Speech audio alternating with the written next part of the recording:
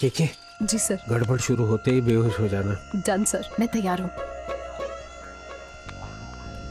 नमस्ते। प्रणाम। एकदम सही मुहूर्त पर आए हो। क्यों सही कहा ना मैंने ज्ञानचंद जी? आज के पंचांग के अनुसार यही समय सही है ना? आज का पंचांग तो देखा होगा आपने। मैंने देखा पांचांग। पांचांग पांडे। सुबह साइकिल पे जा रहा था। मैं उस पंचांग की बात नहीं कर रहा हूँ। मैं जिस पंचांग की बात कर रहा हूँ वो ज्ञानचंद जी समझ गए होंगे। क्यों ज्ञानचंद जी? कुछ समझाने की ज़रूरत नहीं है दीपक। मैं बेहोश होने जा रही हूँ। उसकी कोई ज़रूरत नहीं। आज है भारतीय सौर दस श्रावण सके उन्नीस सौ उनचालीस। श्रावण कृष्ण पंचमी चंद्र राशि, वृश्चिक। सूर्य नक्षत्र, पुष्य। चंद्रोदय का समय आठ बजकर चौबीस मिनट। चंद्रास्त्र, कल सुबह सात बजकर बारह मिनट। यह है आज का पंचांग।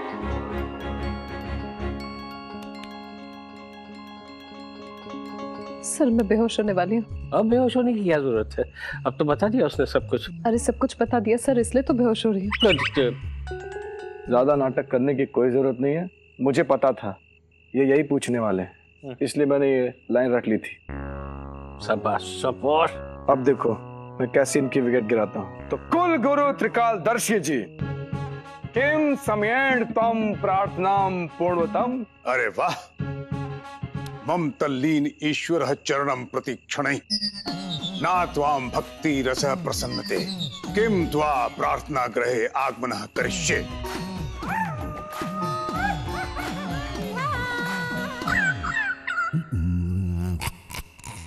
भाई, इसको तो सब आता है।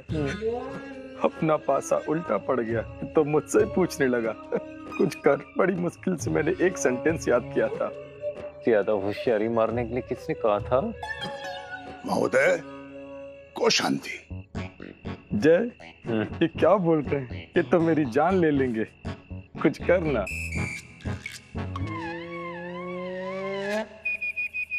कुल गुरुजी अगर आप दो ज्ञानी ऐसे संस्कृत में बात करेंगे तो हम जैसे बेचारे गरीब कैसे समझेंगे? हाँ। करेक्टम हाँ? सत्यम शिवम सुंदरम आप समझ रहे हैं ना मैं क्या कहना चाहता हूँ कुलभूषण जी? विद खरबंदा जी। क्या बोल रहा हूँ मैं। कुल गुरु जी कुल गुरु जी मेरा एक सवाल है। ये जो परीक्षा आप लेने जा रहे हैं इसके लिए हमें क्यों बुलाया है? परीक्षा असल में मेरी है और इन दो बेटियों की है। अच्छा तो हम चलते हैं। आप इनकी परीक्षा लेते रहिए। चल। कुल गुरु जी ये परीक्षा इसलिए ले रहे हैं ताकि पता चल जाए ना कि जया दीदी और सुषमा दीदी की कुंडलियाँ जो है वो निर्दोष और विवाह बाधा रहित है। मर गया। बेटे मर गया। आज सुबह ज्ञानचंद जी ने मेरी विद्या पर सबके सामने सवाल खड़ा किया था। इस परीक्षा से सबके सामने ही उनको मैं उत्तर दूँगा।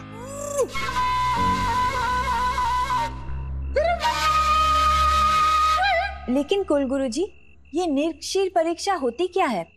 मैंने तो इसके बारे में पहले कभी नहीं सुना। जय बेटी कुलगुरु जी जो कुछ भी कह रहे हैं वो आपकी भलाई के लिए कह रहे हैं। तो जो कह रहे हैं वो करो।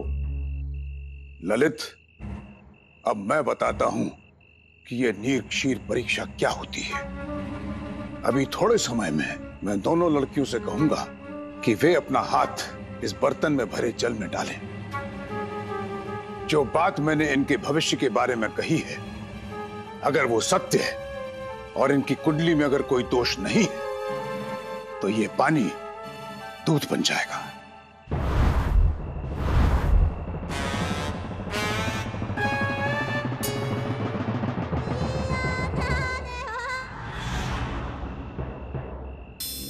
लेकिन अगर ज्ञानचंद जी की बात सही है तो ये पानी पानी ही रहेगा। ठीक हाँ एक काम कर। जाके उस बर्तन पे बेहोश हो जा। ना रहेगा पानी ना बनेगा दूध। को कमाल की बकवास करती है। अरे वो तो वैसे भी नहीं बन सकता। दूध से एक बार पानी निकाल सकते हैं लेकिन पानी का दूध तो हो ही नहीं सकता ना। ये हाँ अगर हो गया तो तब क्या करेंगे? लेकिन कुलगुरु जी ऐसे कैसे हो सकता है? हमारे हाथों में ऐसी कोई शक्ति तो है नहीं जिससे पानी दूध बन जाए। मुझ पर भरोसा रखो बेटा। अगर मन में सच्चाई है तो इस दुनिया में कोई भी चीज़ असंभव नहीं है। चंद्रमा इस समय अपनी सर्वोत्तम स्थिति में है। अभी उचित समय है पानी में हाथ डालने का। तो अब हम पानी में हाथ डाल दें? पहले अपना हाथ मेरे हाथ में दो।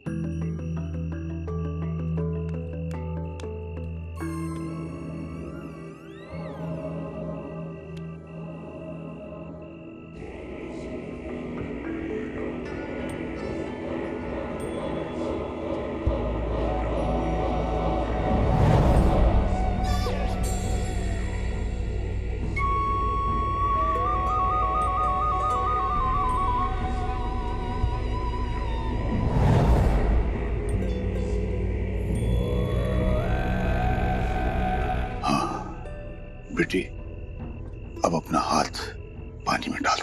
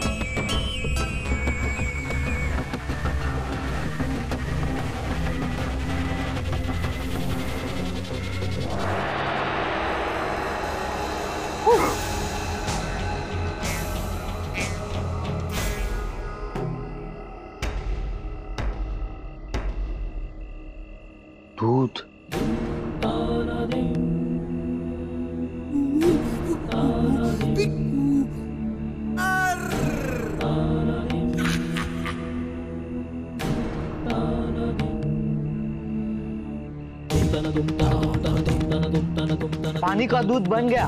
इसका मतलब है दोनों बहनों की कुंडलियाँ निर्दोष है। जन मानव उद्धार महर्षि जय त्रिकाल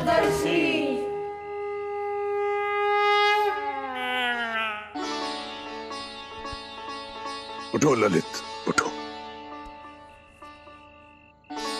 जया सुषमा तुम्हारी कुंडली में कोई दोष नहीं है।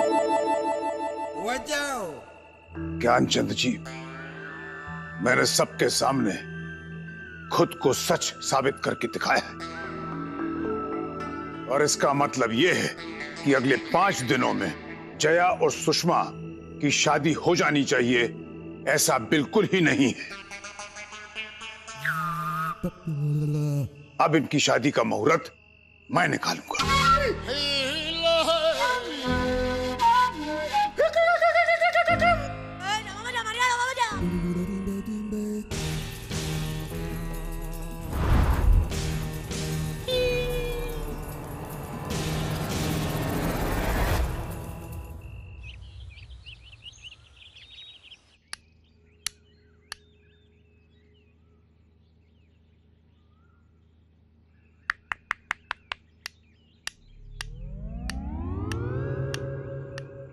जी वो महा बापू जी ने कहा था कि आप मुझसे मिलना चाहते हैं इसलिए मैं आया हूँ।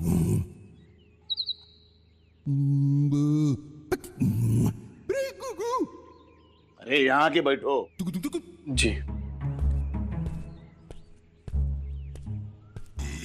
वही वही वही वही उतार रहा था। वही वही उतार रहा।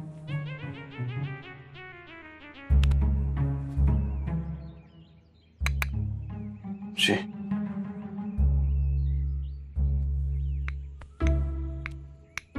कोटोरिलो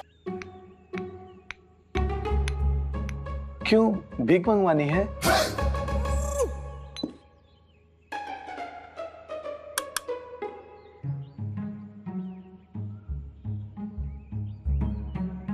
शुक्रिया। अरे क्या कर रहे हो? खाने को नहीं बोल रहा है। मार रख दो।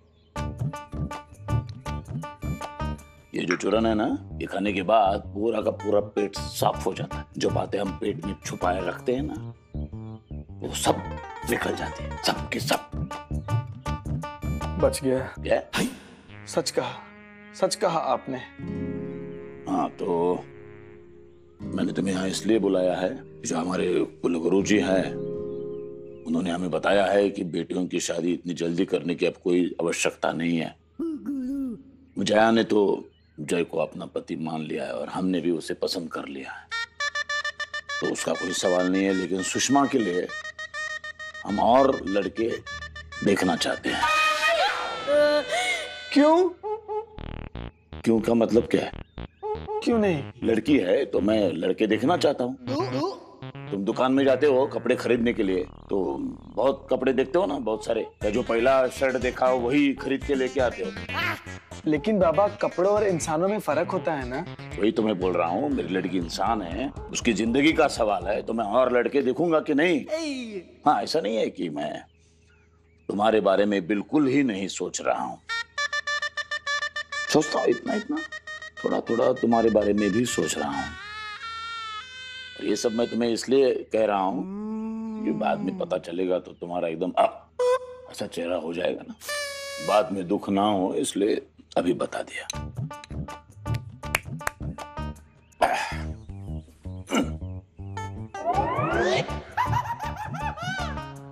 बाद में दिल ना दुखे इसलिए अभी दिल दुखा दिया। इस कुल गुरु की तो जय हो! जब से कुलगुरु त्रिकालदर्शी जी ने कहा है कि शादी की कोई जल्दी नहीं है ना बाबा कितने रिलैक्स लग रहे हैं ना? हाँ वरना मैं भी तो यही सोच रही थी कि पाँच दिन में शादी कैसे हो जाएगी? जया सुषमा। होने वाली भाभियों। ये क्या है? अरे ये सब त्रिकालदर्शी जी महाराज के लिए है। इसमें है रोटी सब्ज़ी अचार चटनी और इसमें है rose milk shake. Rose milk shake? हाँ कुलगुरु जी ने जो पानी का दूध बनाया था ना अब वो इतना सारा हो गया था तो मैंने सोचा उसे वेस्ट क्यों किया जाए? अरे सुबह तो हमने उससे चाय भी बनाने की कोशिश की पर फट गई। चाय। हाँ लेकिन ये सब किसके लिए?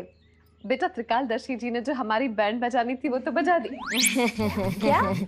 मतलब पाँच दिन में जो बैंड बाजा बजने वाला था अब तो वो कभी भी बज सकता है ना? हाँ। तो इसलिए उनका काम तो खत्म हो गया हाँ। है ना? अब कुल गुरु जी जा रहे हैं। हाँ। तो रास्ते में उन्हें भूख ना लगे इसलिए हमने खाना पैक कर दिया है। ये सब आप खा लो। क्यों? क्यों?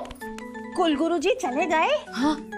अरे इतनी मेहनत से हमने खाना पैक किया था। सोचा कि थोड़ा सेवा का पुण्य हम भी कमा ले। टेंशन मत लो। त्रिकालदर्शी जी महाराज सेवा करने का पुण्य कमाने का बहुत मौका देंगे। अच्छा, मतलब? मतलब ये कि भगवान ने आपकी सुन ली। वो त्रिकालदर्शी जी महाराज ने कहा है कि अभी यहाँ से जाने का समय नहीं हुआ है। एक बहुत ज़रूरी काम बाकी है। तो जी भर के करो सेवा उनकी। अच्छा।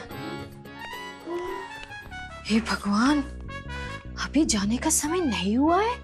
बहुत ज़रूरी काम बाकी है। आयुर्वेद का सामान कहाँ मिलेगा?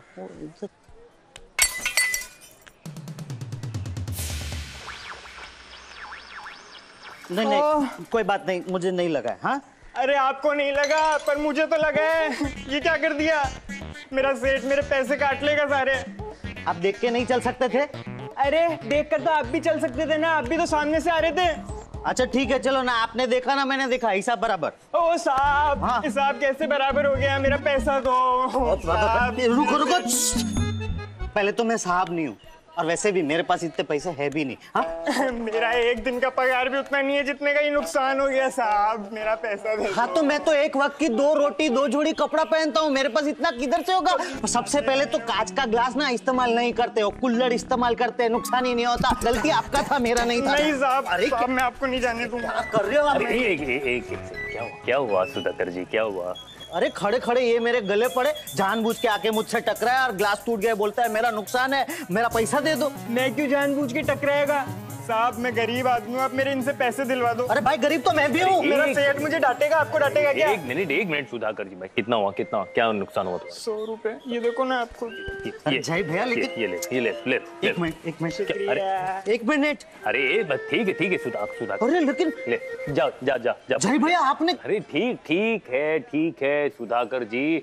गरीब लोगों का कभी भी नुकसान नहीं होना चाहिए। अरे हाँ नुकसान हुआ उसका सौ रुपए का आपने उसे दो सौ रुपए दे दिया। क्यों? कमाल है आप इतना बड़ा दिल है आपका। क्या ट्रेन क्या? अरे ट्रेन में जाता हूँ ना मैं रोज नौकरी ढूँढने के लिए हाँ। तो ट्रेन में आते जाते ना कंगी पेन साबुन ये सब बेचते रहता हूँ। तो बस दिन भर की कमाई मैंने लड़के को दे दी ना ठीक है। ये रहा ये रहा मेरा थैला। ये तो आप लड़ रहे थे मैं थैला उधर छोड़ के आया ये। ये अपना थैला ये देखना है ये देखो नहीं नहीं नहीं बस अभी नहीं, देख लो नहीं नहीं नहीं होगा अभी सब। हाँ। लेकिन भैया हम्म। एक गरीब का नुकसान बचाने के लिए आप गरीब बन गए। बहुत बड़े दानवीर हैं आप। सुधाकर जी जो देने में मज़ा है वो लेने में नहीं। काका क्या कहते हैं? हाँ हाँ ये बात भी सच है भैया अभी देखो ये पैसा लेके कितना सुखी हो गया देखो उसे भी सुख मिला मुझे भी सुख मिला दोनों को सुख मिला डबल सुख डबल मज़ा और कम दाम मतलब राम राम कुल्लू गुरु जी आपने मेरी इतनी बड़ी चिंता दूर कर दी है आप नहीं जानते मैं नहीं जानता नहीं नहीं नहीं वैसे आप सब कुछ जानते ही है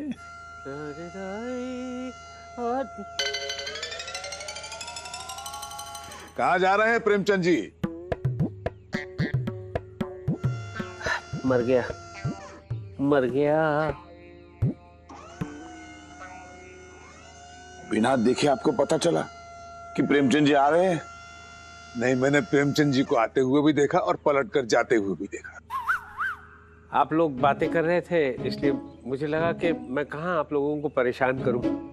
मुझे कोई परेशान नहीं करता है। नहीं नहीं आपकी वजह से लोगों को परेशानी होती है। हैं? हाँ जी मेरा मतलब है दुष्ट पापी लोग जो होते हैं वो परेशान हो जाते हैं आपकी इन क्रियाओं से।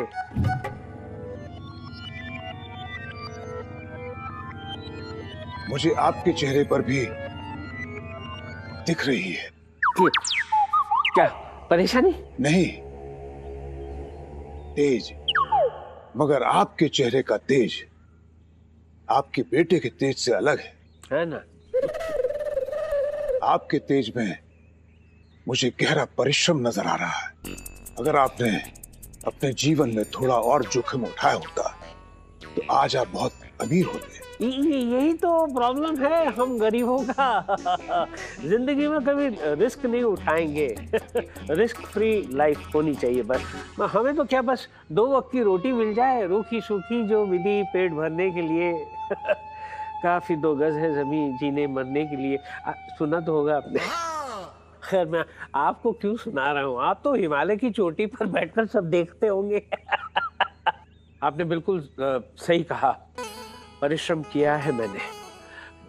झाड़ू लगवाया है ड्राइविंग की है ड्राइवर की नौकरी की है क्या क्या नहीं किया है यहाँ तक पहुँचने के लिए। प्रेमचंद जी इन सब कामों के लिए आप बने ही नहीं।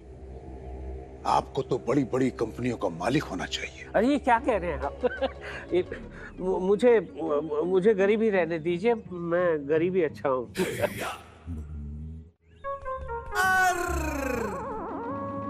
कहा जा रहे हैं ज्ञानचंद जी?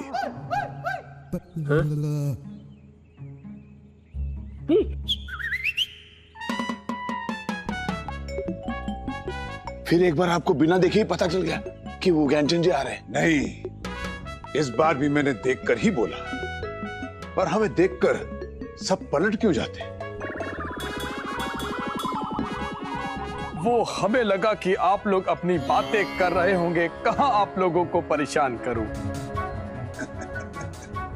आइए थोड़ा सत्संग करते हैं। उच्च विचार है परंतु हम पास वाले मंदिर में गरीबों को प्रसाद बांटने जा रहे हैं।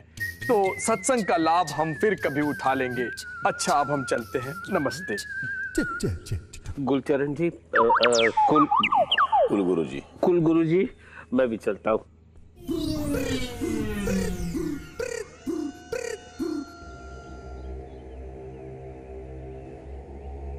कुलगुरु जी आप क्या सोच रहे हैं? कुछ नहीं, Lalit.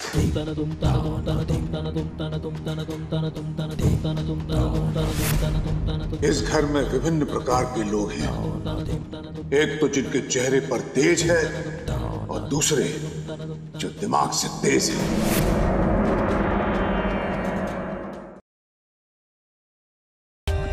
For more update subscribe to our channel click the show links and enjoy watching the videos